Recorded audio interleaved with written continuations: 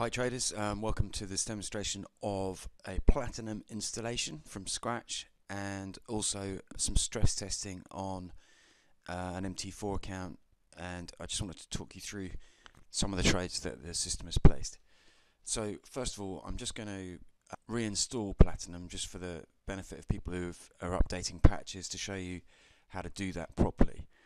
This is a, this account you can see here is an IAMFX account, which is using um, a suffix after the symbol data of IAM. I just I wanted to run on this account for testing purposes. It's uh, five digit, and I'll talk you through the trades that have been placed over the last couple of days on on the system. First of all, let's just run the installer. So first things first, let's close down MT4. The one you see behind it is another account, a JFD account, so I'm going to close that down as well. I've now got the installer package here I'm going to double click on the setup program, click run, navigate to your MT4 root folder. So in this case it's C program files x86 in brackets and IAMFX MT4. Click next, click install, click finish, and that's the installation completed. If you're getting errors, it means that you haven't shut down Platinum correctly or it means that MetaTrader 4 hasn't been shut down correctly. So don't try and install onto an open MT4 account. Uh, and also, if you do, if you have been using Platinum, shut the interface down properly before you run the installation. So that's the installation piece completed. And if we go back into our IMFX account,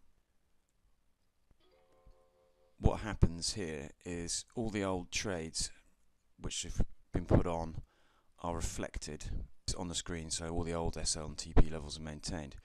Currently we've got, in terms of active trades, we have uh, a few which have been running for a little while. So let's just have a look at the sterling US dollar trade to see how that was initiated.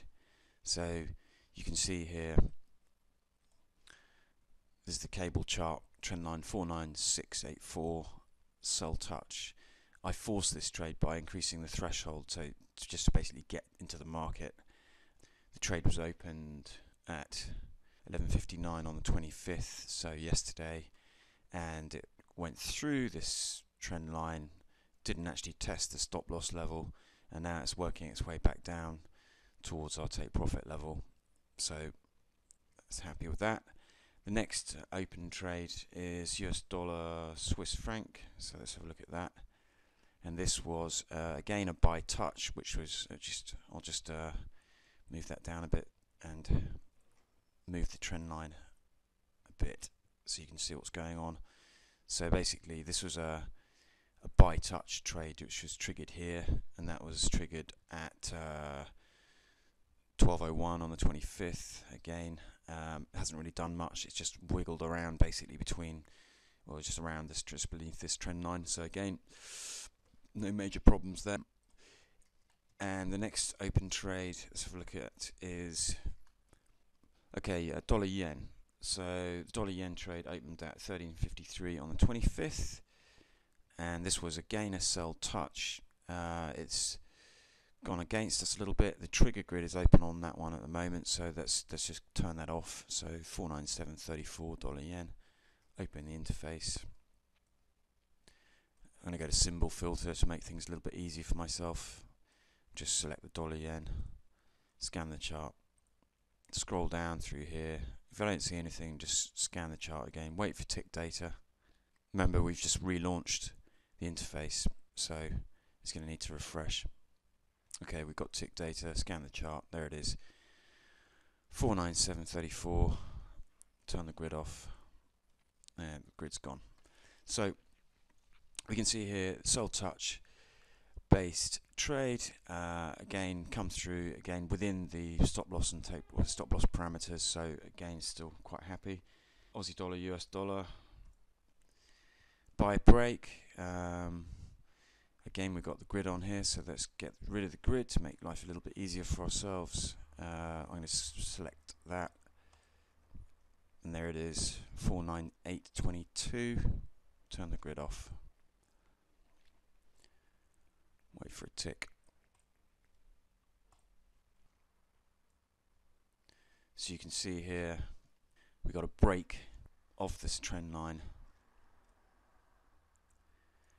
And basically prices on its way up so that kind of trade is looking pretty positive. Again these trades aren't supposed to be kind of um, prescriptive in any way. That's just for demo purposes and so on so so basically the the system in terms of running on multiple charts with the new build from the testing I've done on two accounts uh, is, is been stable in terms of closed orders I've got some interesting stuff down here. Uh, we had quite an interesting trade on, on Euro Sterling where, where I used a sell break touch and I used a trailing stop as well. And let's have a quick look at that. What happened, is the trade triggered here on a sell break touch and came down. I put a trailing stop behind it and I put I just put a line, a horizontal line where the original stop loss trailed down to when I last looked, and uh, basically it, prices come back up and taken us out. But the trade ended up with a 20 point or 20 twenty dollars or so, nearly twenty one dollars on off a point zero a point one lot trade. The other trades we had, which of interest, there was a Kiwi dollar trade, I think. Let's have a look at that one. Yeah, so this trade we had I'm just going to turn chart update off. What we had here was we had a buy break close there, um, which came off this close of this spike through the trend line, um, and that came out with a profit of eight dollars thirty. Um, reason being that if we you see what's happened here is the system is placing the TP1 and the stop loss levels based on the trigger grid at the current time, which is exactly what you'd expect.